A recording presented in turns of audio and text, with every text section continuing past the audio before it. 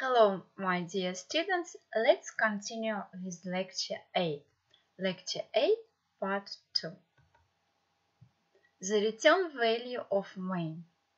You may have noticed that the return type of main is int, but most examples didn't actually return any value from main.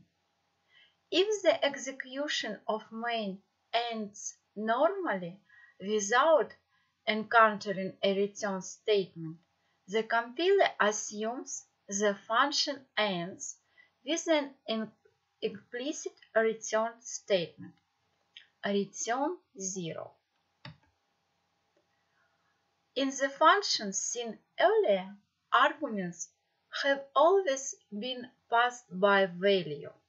This means that when calling a function, what is passed to the function are the values of these arguments on the moment of the call, which are copied into the variables represented by the function's parameters.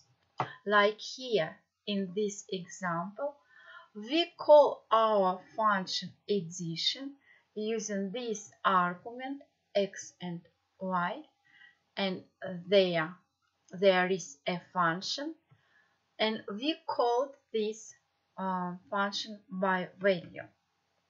Any modification of these variables within the function has no effect on the values of variable x and y outside it, because x and y were themselves not passed to the function on the call, but only copies of their values at that moment.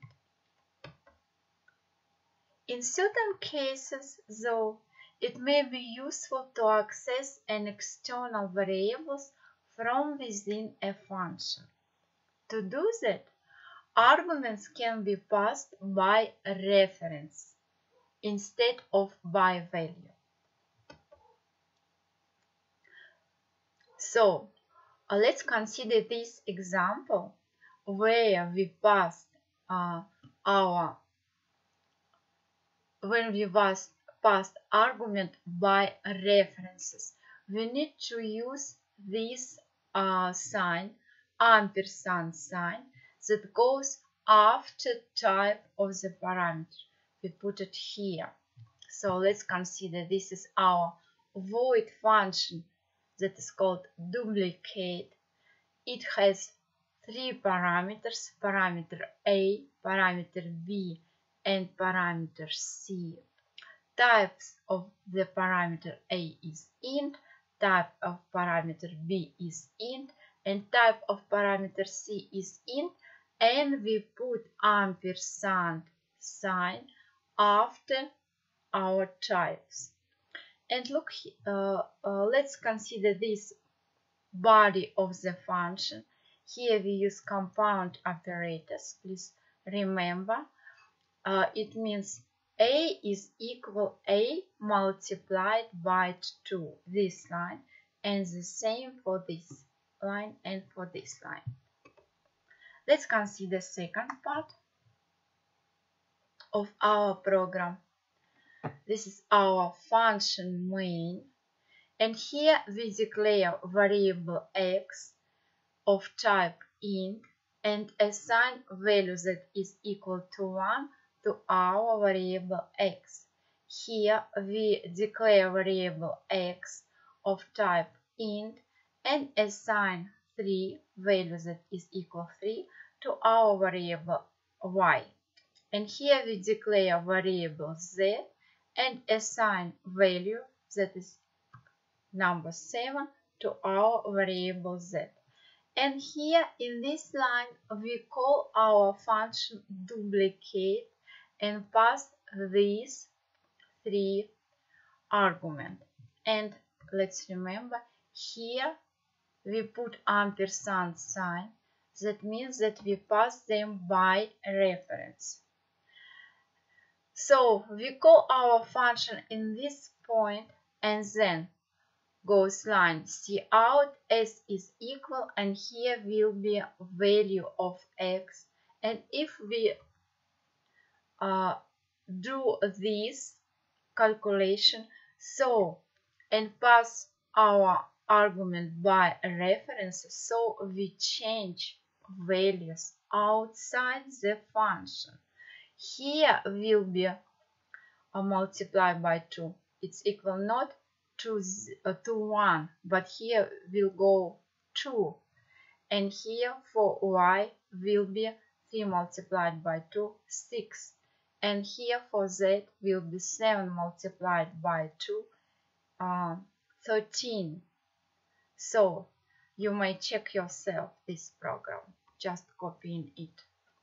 References are usually used for function argument lists and function return values so following are two important subjects related to C++ references which should be clear to a C++ programmer.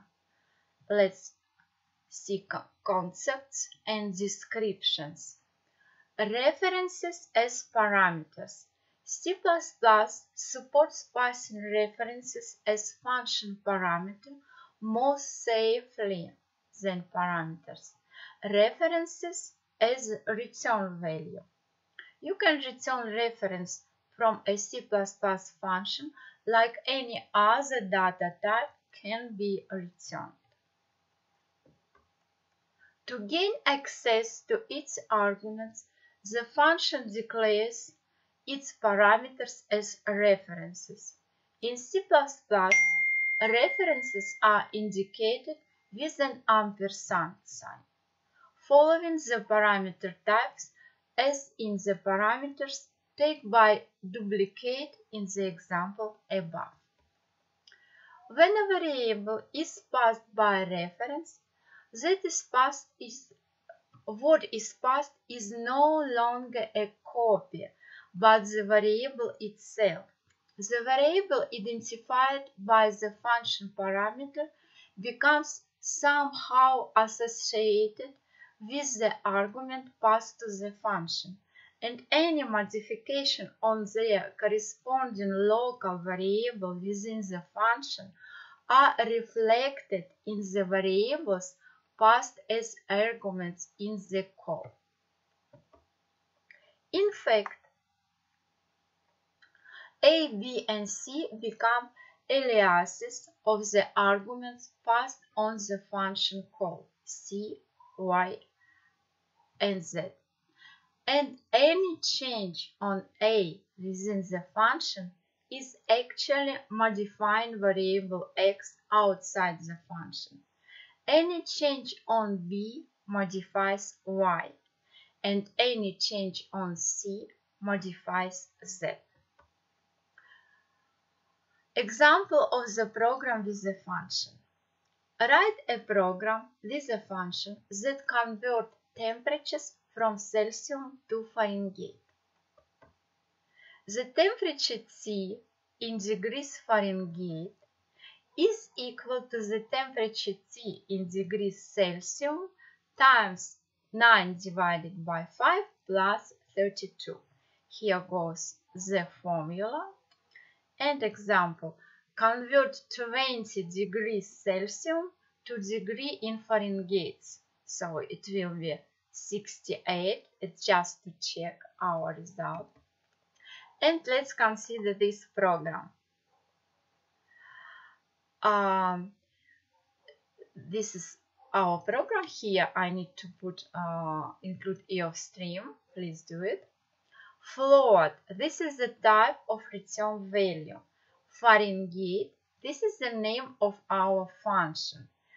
This is our parameter a we have only one number that is equal to in this case 20 so it's int type.